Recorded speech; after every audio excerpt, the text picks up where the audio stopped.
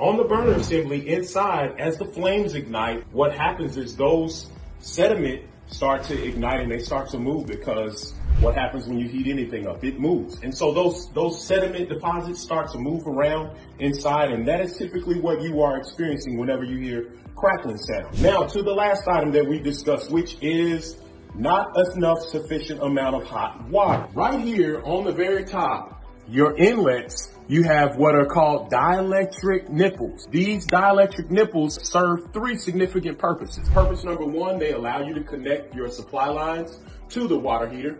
Number two, they provide dielectric separation so that your connection to the actual water heater tank, which is underneath the jacket, is a solid, it is a ferrous metal, it's magnetic. These dielectric nipples have a separator inside that's plastic. It provides a barrier between your non-magnetic and your magnetic metals, which prevents electrolysis. We'll discuss that at another time on another video. These dielectric nipples have inside of them what are called dip tubes. These dip tubes are connected to the dielectric nipple. Now, imagine if you would a long cylinder that's connected to this nipple that goes all the way down to the very bottom of the water heater. Well, what happens is the water travels up the dip tube, so you have access to this hot water at the very bottom as it travels up the dip tube and services you when you call for water. Over time, because of the hardness of the water, these dip tubes, they have a particular makeup that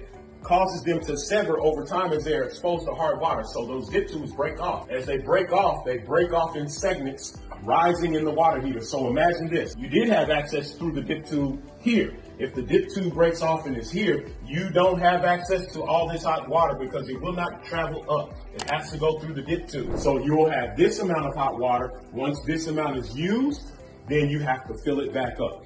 More people experience that problem than any other water heater problem, and that is typically one of the first signs that your water heater is going bad or needs to be serviced by a professional such as JT Services professional technician. So that concludes our video. We thank you for taking the time to tune in to us here at JT Services. We are not better than better. We are different. And we want you to have a different experience when you come and choose us to provide services to you. Thank you for tuning in and we'll catch you on the next video.